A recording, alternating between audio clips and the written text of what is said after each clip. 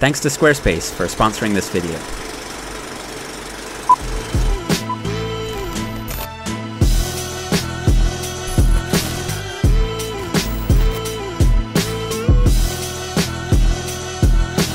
Okay, welcome everyone to a new episode of Myth Bust Monday, where every Monday we're going to take a look at some popular fitness or nutrition idea, look at where that idea got started, and then find out whether it's in fact true or false based on the most recent scientific evidence. This week we're going to be looking at the idea that energy drinks are harmful to your health. So I found that energy drinks like uh, Monster and Red Bull have actually become really popular in fitness circles and I think it's because of the idea that you can get some sort of energy boost without any kind of caloric cost, um, especially with the, the diet varieties of these energy drinks. Um, so they can energize you for a workout without having to take in any extra calories, which is pretty beneficial, I think, or at least people perceive it that way.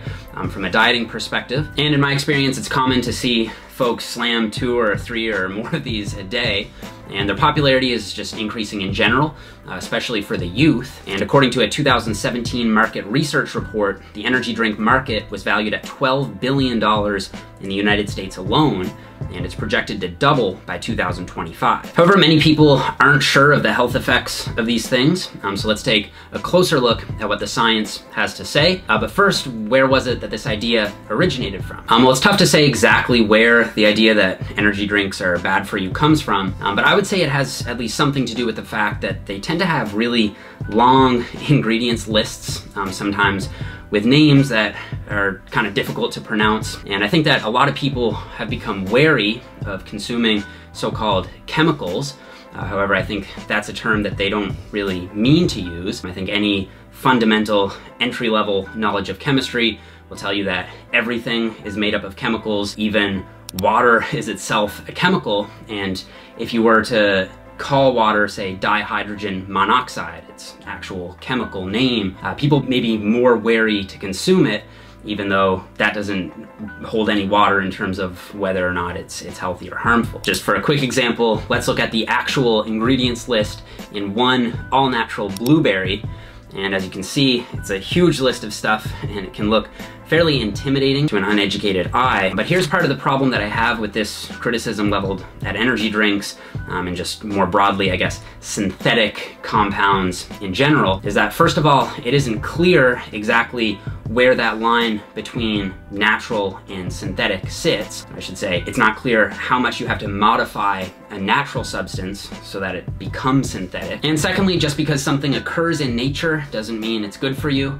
Um, just, for example, sharks occur all the time in nature, um, and they will kill you if you happen to run into one. Um, and then on the other hand, uh, antibiotics are synthetic, they're man-made, and they can save your life uh, if you need them. Um, so this concern with energy drinks is at least in part uh, an appeal to nature fallacy, uh, which isn't necessarily incorrect. Um, I think that in some contexts we do have good reason to be skeptical of some man-made substances and some man-made products. Um, however, that isn't a good enough basis on its own to judge its health value. Um, so I think what we should instead do is look at the actual ingredients list on these products and break them down and look at what the scientific evidence has to say about each of them. So what does the science have to say about the ingredients in energy drinks? Um, well, the ingredients won't look exactly the same between any two energy drink products, uh, but I think Examine.com did a really good job of breaking down the science between the 10 most commonly used ingredients in energy drinks. And notice that this list can look more or less scary, uh, depending on if they use the chemical name or not.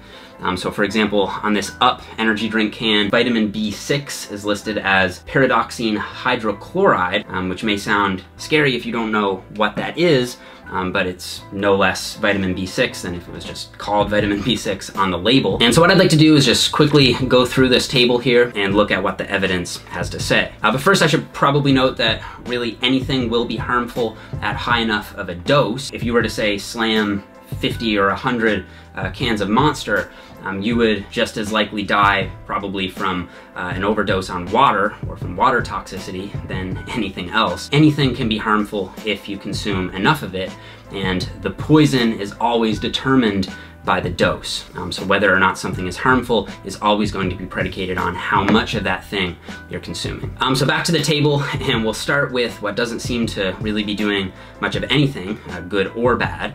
And so here in the middle, we have a list of three vitamins and a pseudovitamin. So niacin, B6, B12, and inositol. And they're all water-soluble vitamins, so the likelihood for overdose and negative health effects is basically nil, uh, especially at the typical dose. Um, but they also don't do what they're claimed to do, which is improve energy, uh, because unlike actual food, vitamins don't increase energy acutely. Um, they don't have any caloric value, unlike actual food, and they're not stimulants say caffeine. And the same thing goes for guarana, uh, which is just a natural form of caffeine, um, but here the dose is almost always too low to do much of anything, good or bad. Uh, and L-carnitine is also overhyped. Uh, while it's actually very effective at improving sperm quality, uh, the dose would have to be about 60 times higher. And carnitine doesn't increase fat burning, except for in cases of carnitine deficiency, which is actually extremely rare in adults without metabolic disorders. Um, so there isn't anything to worry about here at these doses. Up next, we'll look at taurine, which does have some potential benefits, including antioxidant and cardioprotective effects, and improved insulin sensitivity. Now, a 2008 toxicology report on the upper limit for daily supplemental taurine consumption across an entire lifetime was three grams. So with one gram being in a can of Monster, uh, this warning may give you some pause when exceeding or nearing, say, three Monsters a day consistently. Uh, however, I think it's worth noting that this same paper acknowledges that much higher levels of taurine have been tested without adverse effects and may be safe, but the data for intakes above those levels just aren't sufficient for a confident conclusion. So up next, we'll look at ginseng. It's supposed to increase focus, and it might do that. One 2010 study showed positive cognitive effects at a 400 milligram dose, but actually a slowing in arithmetic with 200 milligrams compared to placebo. Uh, so you'll probably want at least more than 200 milligrams if taking ginseng for focus. And in terms of negative effects, Examine cites a potential for GI distress. And granted, while a 2011 systematic review looking at 57 clinical trials concluded that ginseng generally has a good safety profile and the incidence of adverse effects seems to be low, 16 of the 57 trials did report side effects, uh, but they were mostly related to the GI tract, so things like diarrhea and cramps. Um, so before we get into the two remaining ingredients, which I believe to be uh, the most likely to be problematic, uh, some of you may note that uh, there's often artificial sweeteners in these drinks. Um, it's most commonly sucralose and ACE K, and luckily my girlfriend Stephanie uh, made a whole video discussing all these sweeteners, um, so I don't really have to go into too much detail here. I'll just refer you to that video. Um, but the long story short of it is that you'd have to consume something like 32 cans of diet soda uh, just to hit the adequate daily intake for ACE K. You'd have to drink uh, something like six cans of diet soda uh, to hit that adequate daily intake for sucralose. Um, but just keep in mind that the adequate daily intake is a very, very conservative estimate of how much you'd have to drink every day for a lifetime uh, to see no adverse health effects. Um, so the main two potentially harmful things uh, in these energy drinks I would say are sugar and caffeine. And despite my myth bust video on sugar explaining why I don't think that's quite the villain it's often made out to be, uh, I would say it's it's probably the most potentially harmful thing in these uh, over the long term. And I think this because it basically unnecessarily drives total caloric intake uh, higher and in a way that doesn't really provide any nutritional value. And I think this is especially the case for the high rates of consumption amongst teenagers and youths who are drinking a lot of these and getting a lot of empty calories from the sugar. Um, and so while I wouldn't say that sugar is in and of itself causing direct harm, I wouldn't say that it's toxic, uh, especially not consumed in the doses uh, in these energy drinks. I would say that it is unnecessarily contributing to uh, total daily caloric intake, and especially in the absence of a, a regular exercise routine or regular daily activity, uh, I would say that this could lead to, to problems down the road if it becomes a habit. But of course, this isn't a problem if you just go with the diet or sugar-free versions of these energy drinks, um, which is why I recommend going with diet over the sugary ones um, if you have the option. So that basically leaves us with caffeine, which is of course the main powerhouse behind these energy drinks. Uh, it is the main stimulant ingredient, um, and it definitely is effective. There's a ton of evidence suggesting that it increases alertness, wakefulness, uh, even performance, and of course energy.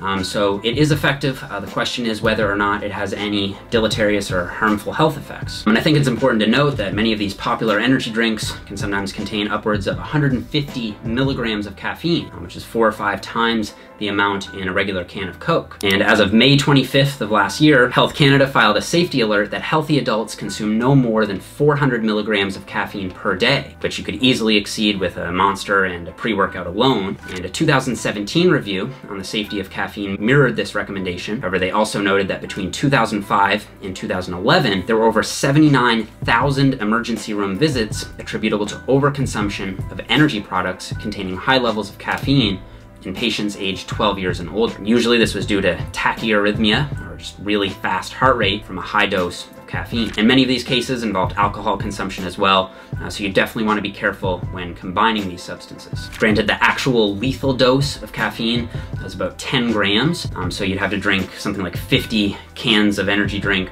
uh, just to reach that. However, in powder form, uh, it's quite a bit more dangerous, and you could easily reach a lethal dose uh, with just like two teaspoons of pure caffeine powder. So on that note, I think I'll bring this full circle by saying that I think it's unlikely that the individual ingredients in these energy drinks uh, are likely to cause any serious health effects um, on their own. Of course, that's going to depend on how much of them you're consuming, um, and it also depends on who's consuming them. I think that pregnant and nursing women uh, should really avoid these products because of the caffeine content, and I think that uh, teenagers and children are definitely more susceptible to negative cardiovascular effects uh, from these.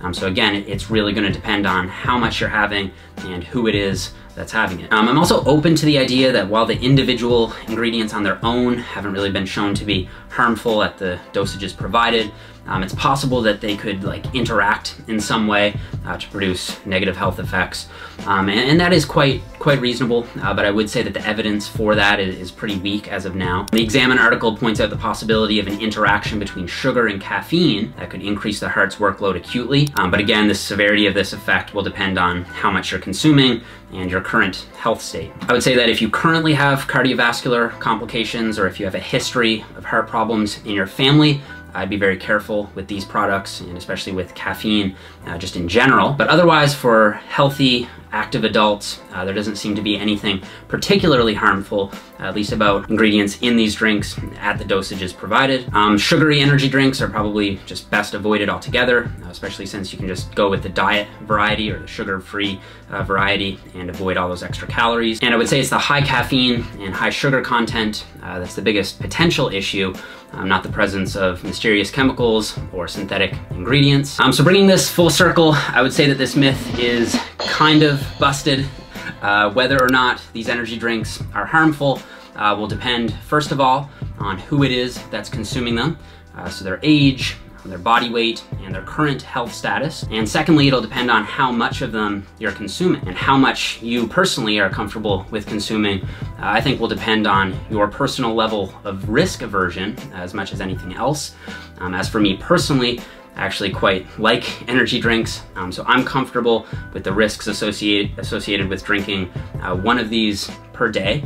Uh, which in my opinion are actually quite low. Um, however, uh, if you're wanting to play it on the safe side, um, or maybe you have more of a history of, of health problems or you're concerned about that, um, then you may want to err on the side of caution. You may want to really heed Health Canada's advice and pay attention to your total daily caffeine intake. Uh, you might want to try to keep that below 400 milligrams per day. Um, so guys, that's gonna wrap up this week's Myth Bust Monday. I hope that you really liked it. Um, before we go, I wanna give a huge shout out to Squarespace for sponsoring this video and say thank you to Squarespace. Um, in case any of you guys aren't aware, uh, Squarespace is an all-in-one creator website platform, and it's actually the platform that I've been using for the last two or three years uh, to run my own website and my own online store. Um, and I think it's a great service because it's really easy to use. Uh, they have fantastic customer support and beautiful award-winning designer custom templates that you can use, and there's just a ton of those uh, to choose from, and I think they all look really aesthetic. So if you guys would like to get started on building your own website or your own online store, go to squarespace.com forward slash nippard, and you can save 10% off your first purchase today. Thank you again, Squarespace, for sponsoring the video. Uh, thank you guys so much for watching. Don't forget to leave me a like if you like the video. Uh, subscribe if you happen to be new to the channel, and I will see you guys all here next Monday.